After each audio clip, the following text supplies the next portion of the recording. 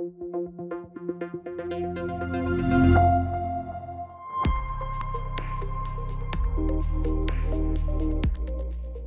I'm Marc Bashoor, Executive Editor for Fire Rescue One and FireChief.com. Welcome to our new studios, at least temporary studios, uh, coming to you from Bradenton, Florida. I want to talk to you today about a fire, um, a recent fire in Manchester, New Hampshire. We're going to play some video here uh, where a significant number of people were rescued. Uh, there was a civilian fatality, and uh, it was a near miss for the fire department.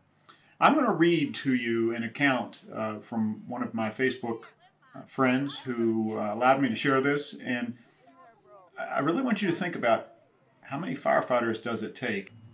Because that's a refrain I hear a lot, especially from some elected officials who really want to know how many firefighters does it take because all they really do is sit around and wait for EMS calls, right? Okay, so I'm going to read this to you and I want you to be thinking about it. We'll go back to the video in just a minute. So those conditions you saw were the arrival conditions uh, for engine 10. Uh, engine 10 was returning from an EMS call, and this is as shared from uh, a Facebook uh, friend who uh, has knowledge of, of what happened there. So engine 11 was first due returning from an EMS run. They were faced with heavy fire conditions on the AD corner, racing up all three floors of the six unit occupied uh, multifamily dwelling. Uh, initially, uh, they went to an exterior attack, and you'll be able to see that in the video. They went to an exterior attack, but the captain did his 360 and ordered his crew into rescue mode. A total of uh, six or seven civilians were rescued over ladders. Uh, unfortunately, the captain was caught in a flashover and tried a ladder bail from the second floor. His SCBA strap became entangled in the tip of the ladder. A lieutenant from another company tried to get up to help him out, a firefighter from Truck 1 was right there and saw that they were both in serious danger of being burned. He kicked the ladder out from under them to get them both to safety. The captain was taken to a hospital and then flown to Boston, where he was being treated for second and third degree burns, over 40% of his body. I do have an update uh, from his wife, and I'll talk about that in just a minute. But as we go back to the video, I want everybody to be thinking about Mayday procedures, making sure that Mayday is part of your repertoire of training. That you're not only training on it one time, but that you're repeatedly working through the steps of a Mayday process. Not only how to get yourself out, but what you would say, what you would do. You know, I'm a fan of the who, what, where. And I'll talk about that again in just a couple minutes, but let's just watch right now.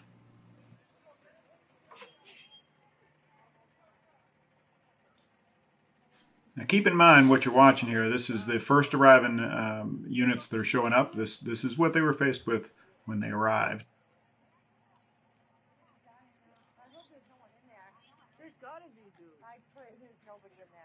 So they're finishing to stretch that initial attack line and it appears that their uh, tactic here is going to be a transitional attack. Hit it from the outside, get the bulk of that heavy fire knocked down, and then move in. There are officers in the process of doing a 360, and it's when he gets done doing that 360 that you'll see they actually abandon the attack to begin the rescue of the six or seven people that they pulled out of that house. You know, I don't have all the facts in this case, obviously, but as uh, was reflected in my Facebook post uh, of my um, anger, if you will, about the constant refrain from people who do say, well, you don't need that many firefighters. Uh, you're just trying to spend the money, or it's a union thing, or it's this, or it's that. Well, you know what? At the end of the day, these folks had their hands full. And there was no way that the typical two, maybe three firefighters that come in the fire trucks are going to be able to handle all this to make the rescues, to keep themselves safe, and to keep their communities safe. I fully recognize that in a lot of cases that the staffing is what it is, and that's what the communities can afford we need to make sure that we're making a constant refrain for increased staffing on the fire engines to get to at least four people on the fire truck to be able to perform all the tasks that need to be performed, to be able to keep each other safe and to be able to keep our communities safe. The practice of continuing to allow two people, uh, you know, as you start, as we did in Highlands County, as we started, that's all we could afford to start with, it, but it needs to be built upon. It cannot rest on its laurels just because you've got there. You've got to get to the point where we've got more people on these fire trucks. They don't just sit around all day and wait for EMS calls. But even when they do, and when they run those calls like this, in the blink of an eye, they go from that EMS call to this. And oh, by the way, Manchester, New Hampshire just today had another Mayday situation with two firefighters trapped in a fire. So that's twice in the last 10 days. So this isn't something that happens every once in a blue moon. So, yes, these guys were coming back from an EMS run. It is something that they had waited for. They got the run, but as they're coming back, they go from that mundane every day to this, just in that blink of an eye. I don't think that the people in that house cared whether the people in that fire truck were paid or volunteer, black or white, man or woman. What they cared about was that people showed up to do the job, and enough people showed up to do the job. And two people on a fire truck, it's a recipe for disaster, folks. And when those firefighters get there, those two, they, they can do a lot of stuff. But when confronted with that, and confronted with six, seven people needing to be rescued, two's not enough. So, as I said in my Facebook post, Madam Commissioner, yes, you do need that many firefighters and more. As we continue to watch the video, I want to go back to, circle back to the Mayday training and uh, brings a couple things to mind.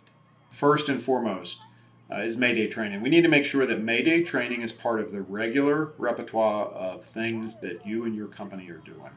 Uh, and don't have this just be a one and done kind of thing. You know, don't take the training or do one of the drills and think, okay, we got this.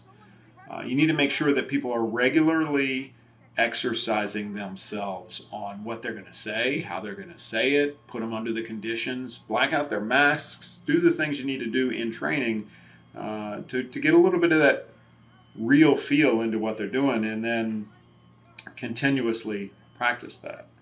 Uh, there's a lot of tools and tricks out there uh, for, for folks. Uh, I am a fan of the who, what, where. Um, I am much more interested in uh, who's in trouble, what the problem is, and where they are than all of the other things. And I think it's a lot easier for people to remember the who, what, where than uh, some of the other acronyms that are out there.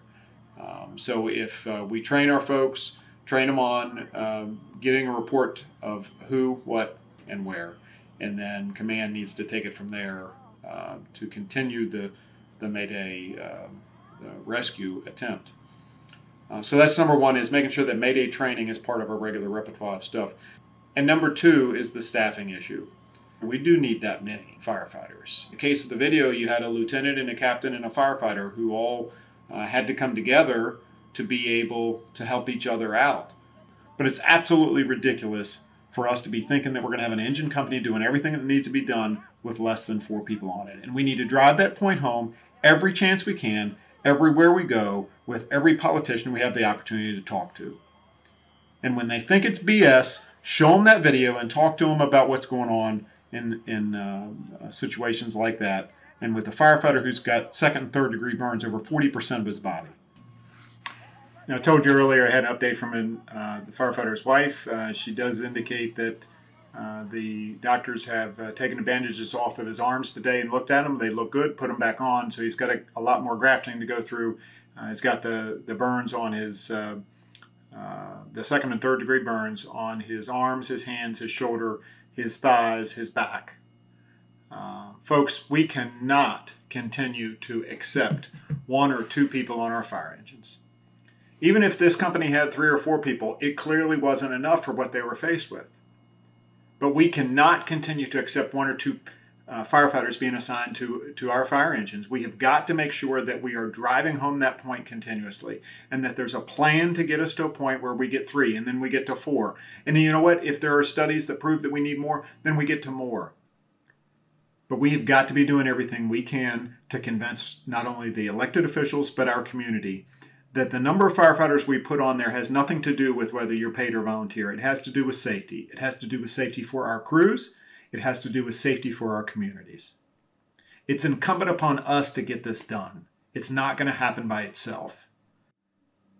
We have got to come together, paid and volunteer, union or not. We have got to come together and make sure that we're advocating for safe staffing on our fire engines. We've got to make sure that one or two people in the fire truck is not allowed to be the norm. We're following the second Mayday out of uh, Manchester, New Hampshire. Uh, it appears that the firefighters are okay. Two were trapped in a fire today. But we're following that. We'll have more uh, as we're able to get it to you or, or as the story warrants. This is Marc Bashoor, Executive Editor for Fire Rescue One and FireChief.com. Thanks for listening. Have a great day on purpose. Keep safe, stay smart, and take care.